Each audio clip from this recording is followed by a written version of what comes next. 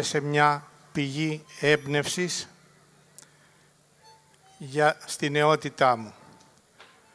Είναι ιδιαίτερη τιμή που μετά από 53 χρόνια να παίζω το έργο μου στον τόπο αυτό.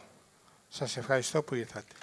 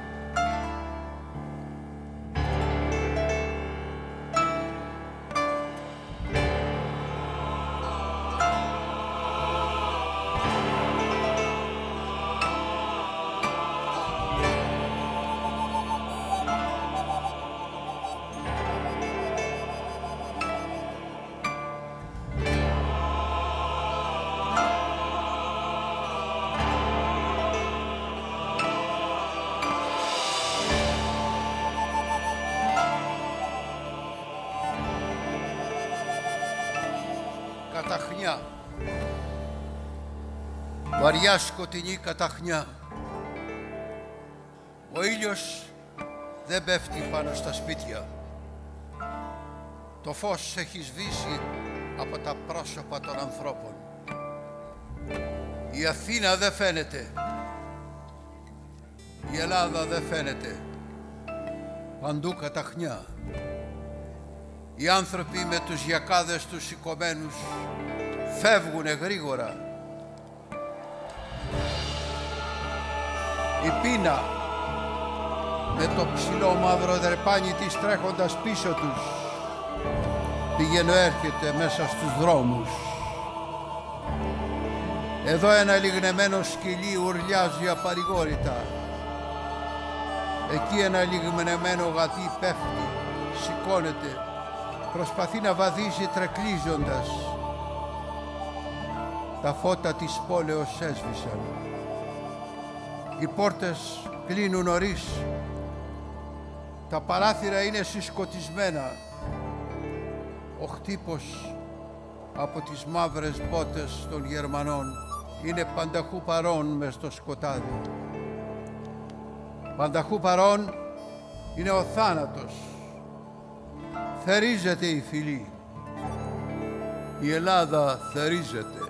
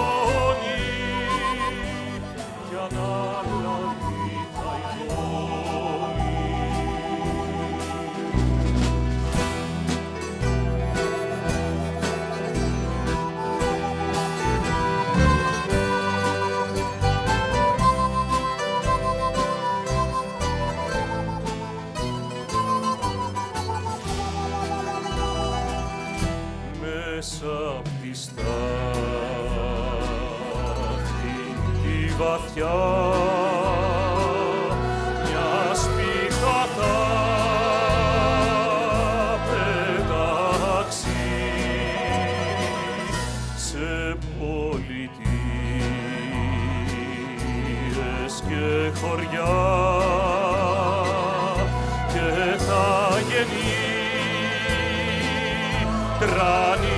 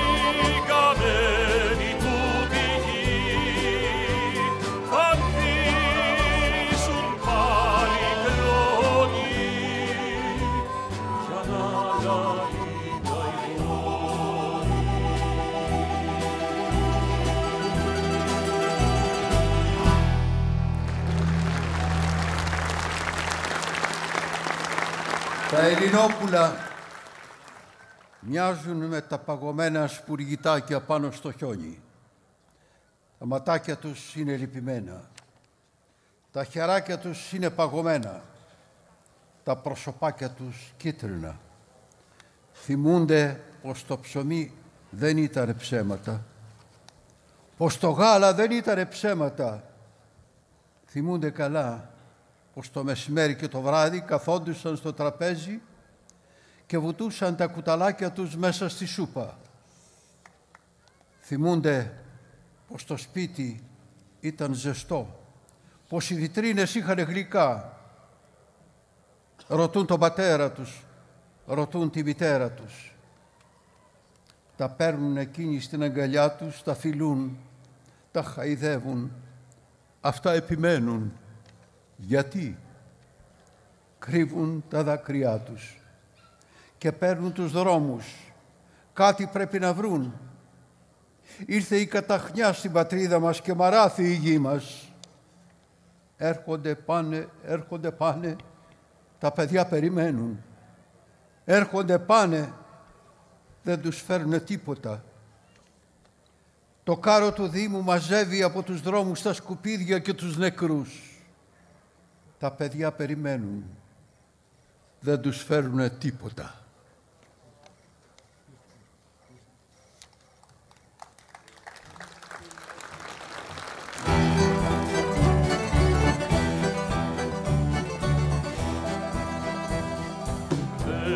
Βρήκα πουθενά ψωμί και σπίτι πώς να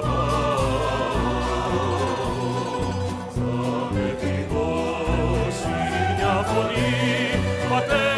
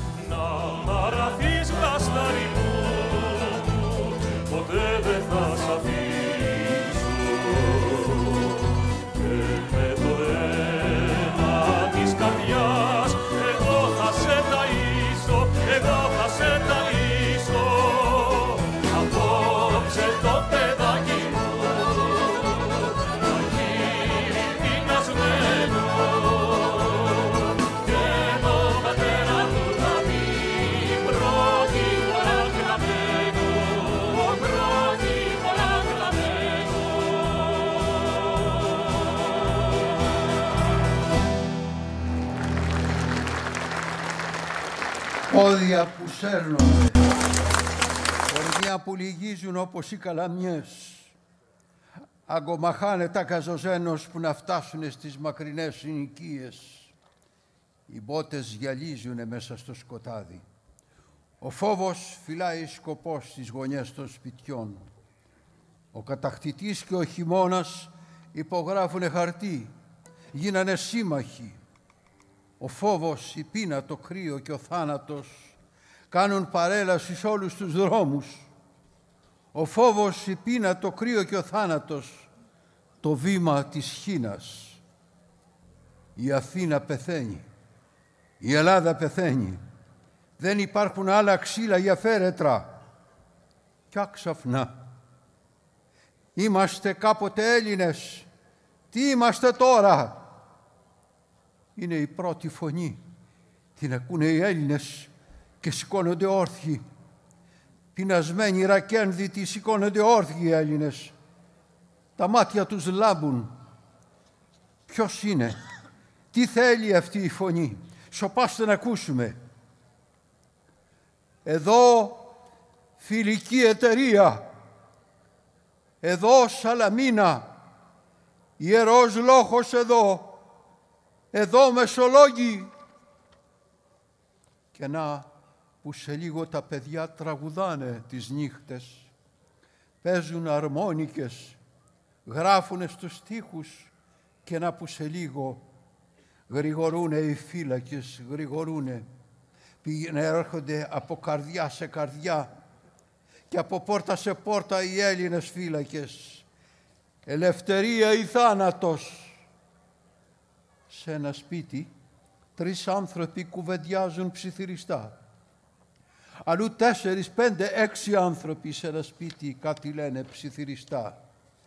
Μυστικά μηνύματα ακούονται μέσα σε όλα τα σπίτια. Ακούνε οι τύρανοι τους χτύπους των αργαλέων που υφαίνουν τα βάσανά τους. Ράους, ράους, ράους. Και η φωνή μέρα νύχτα. Εδώ μεσολόγγι και πυκνώνουν τα μηνύματα μέσα στη νύχτα. Σύνδεσμοι πηγαίνουν έρχονται στα σπίτια. Μικρά παιδιά σηκώνουν μεγάλα μυστικά. Πόρτες σπάζουν εδώ, πόρτες σπάζουν εκεί. Αφρίζουν οι τύρανοι. Τα καμιόνια διασταυρώνονται μέσα στη νύχτα. Αποχαιρετάει η μάνα το παιδί και τα παιδιά ο πατέρας τους. Γιομίζουν οι φυλακές.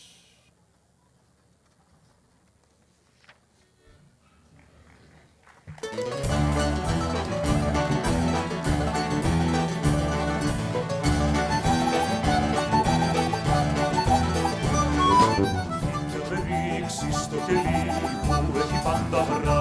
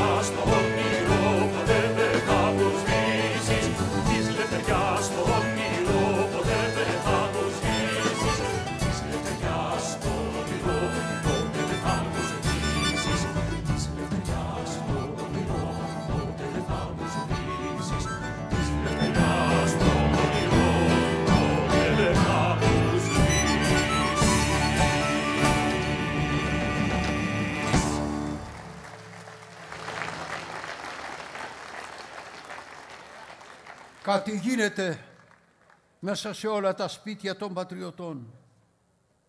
Σε μια συνοικία, σε ένα σπιτάκι, μια λεβέντισσα μάνα σκίζει το μεσοφόρι της. Δένει την πληγή ενός λαβωμένου.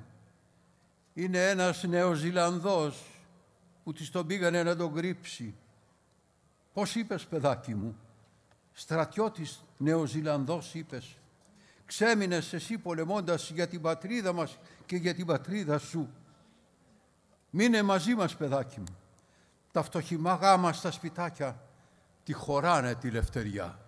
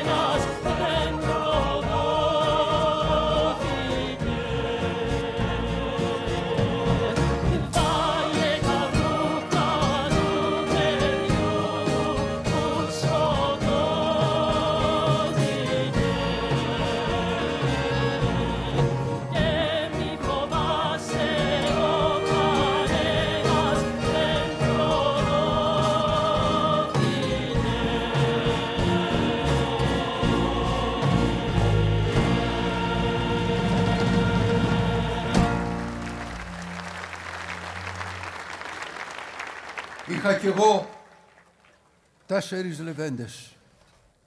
Σκοτώθηκε στην Αλβανία ο πρώτος. Στο βουνό ο δεύτερος. Έφυγε για τη Μέση Ανατολή ο τρίτος. Στη φυλακή ο τέταρτος. Παίρνει το στρατιώτη, σηκώνεται η μάνα και πλησιάζει το κρεβάτι που κοιμάται ένας άγγελος.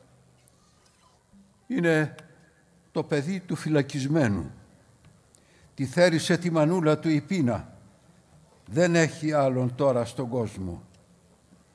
Ίδιος ο γιος μου, όταν ήταν μωρός σκέφτεται και στάζουν ατέλειωτη πίκρα τα χείλη της.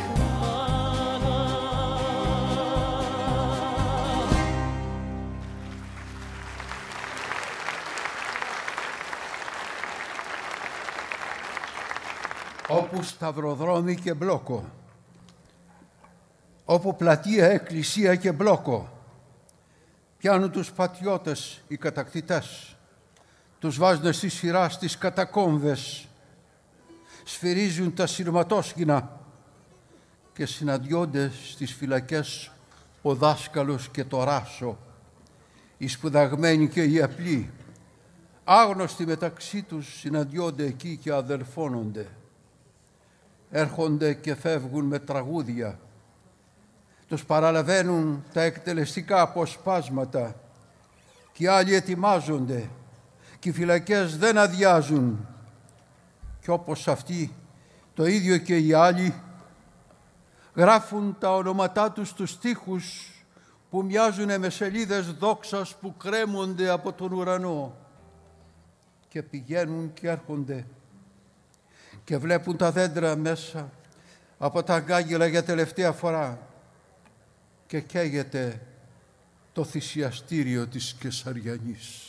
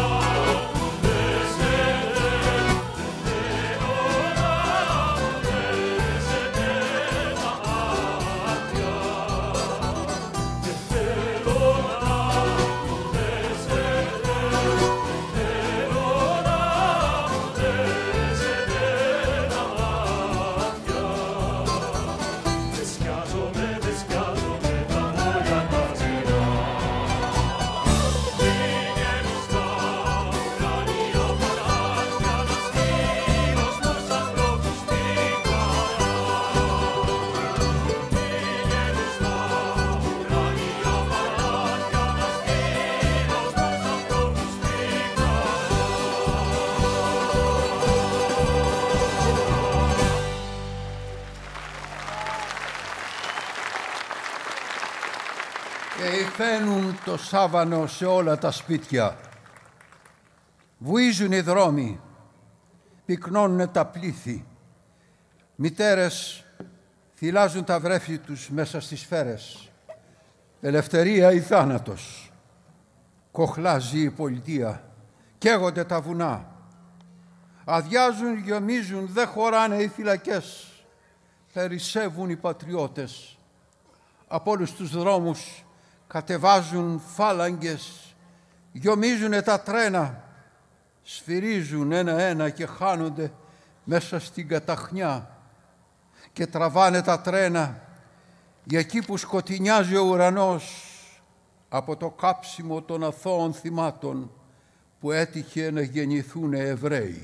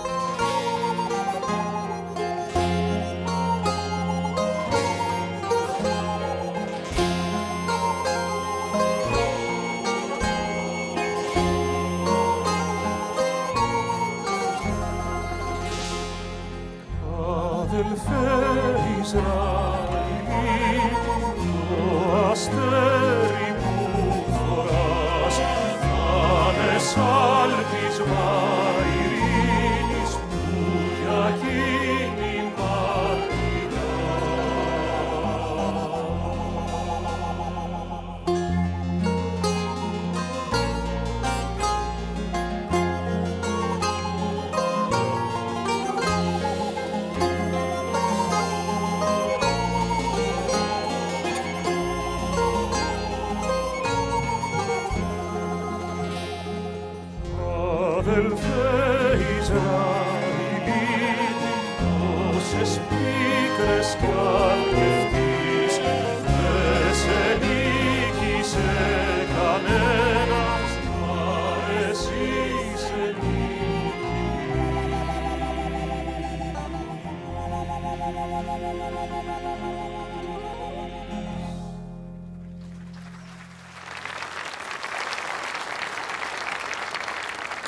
Και φορτώνουν τα τρένα τις λιγερές και τα παλικάρια μας.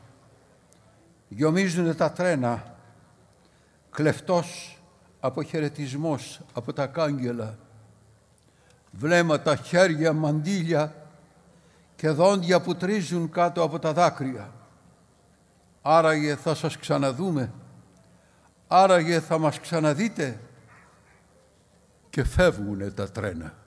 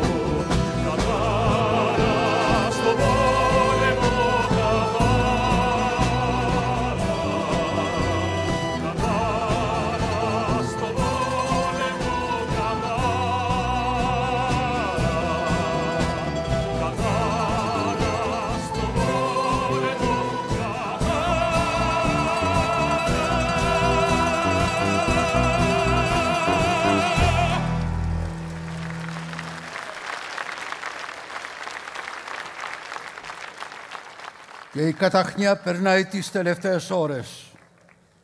Κλονίζονται τα σκοτάδια, τρυπημένα από τις πύρινες λόγκες, σπαθισμένα από τις ψυχές των γενναίων. Το αίμα έχει κάνει αυλάκι και τρέχει κάτω από τη γης και ποτίζει τα δέντρα. Οι μάνες με τις μαύρες μαντήλες τους περιμένουν στο παράθυρα να ειδούνε το γλυκό χάραμα. Και φτάνει το γλυκό χάραμα και ξημερώνει η Άγια Μέρα που περιμένανε. Και οι μάνες με τις μαύρες μαντήλες κόβουν πανιά και ράβουν πρόχινες σημεούλες και τις κρεμάνες στα παράθυρα των μικρών σπιτιών που χώρεσαν τη λευτεριά. Κοιτάνε κλαίγοντας τον ήλιο. Τον ήλιο που λάμπει. Βγαίνουν στους δρόμους και αυτές μαζί με όλο τον κόσμο που βουίζει και ρωτάνε να ειδούνε και ζητάνε να μάθουν. Είναι εδώ όλοι και ο Πέτρος και ο Κώστας και ο Αντώνης τρέχουν να βρουν τους τάφους, να τους πούν πως ξημέρωσε, πως διαλύθηκε η καταχνιά και πως ξαναβγήκε ο ήλιος και γονατίζουν με τις αγκάλες τους γεμάτες λουλούδια μπροστά σε ένα ξύλινο σταυρό.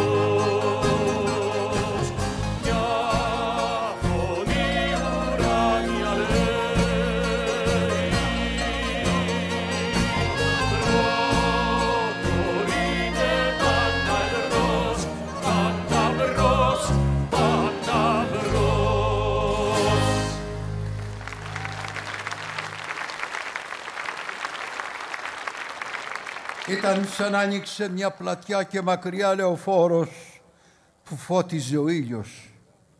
Κι όπως τα πλήθη πορεύονταν κατά κύματα, έμοιαζαν οι σημαίες με ποτάμι πολύχρωμο. Κουνιόταν η λεωφόρος που οδηγούσε προς την ειρήνη και ακουγόντουσαν οι καρδιές με τις καμπάνες και με τις σάλπιγγες και η βουή όλο ένα μεγάλωνε γιατί ακουγόντουσαν και οι καρδιές. Ποτέ πόλεμος πια.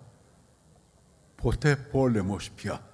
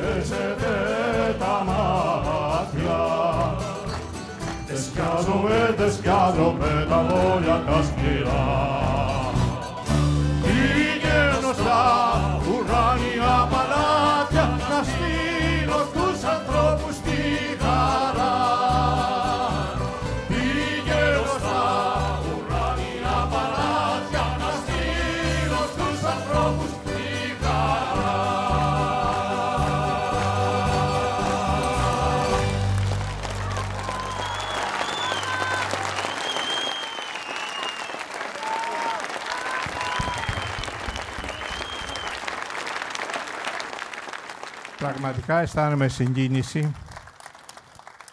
Όσοι είναι καλλιτέχνες το καταλαβαίνουν, το αισθάνονται μάλλον. Όσοι δεν είναι, το καταλαβαίνουν. Είναι μεγάλη συγκίνηση. Ύστερα από 60 χρόνια, 60, κάπου εκεί τέλος πάντων, από το 63, να έχω γράψει ένα έργο γι' αυτό το θυσιαστήριο και μετά από τόσα χρόνια να μου δίνει τη ευκαιρία αυτό το έργο να παιχτεί στο τόπο θυσιαστηρίου. Τιμή στους αγωνιστές, τιμή στους αγωνιστές, όλους τους αγωνιστές, όλους τους αγωνιστές που αγωνίστηκαν για την ελευθερία της χώρας μας. Αθάνατη.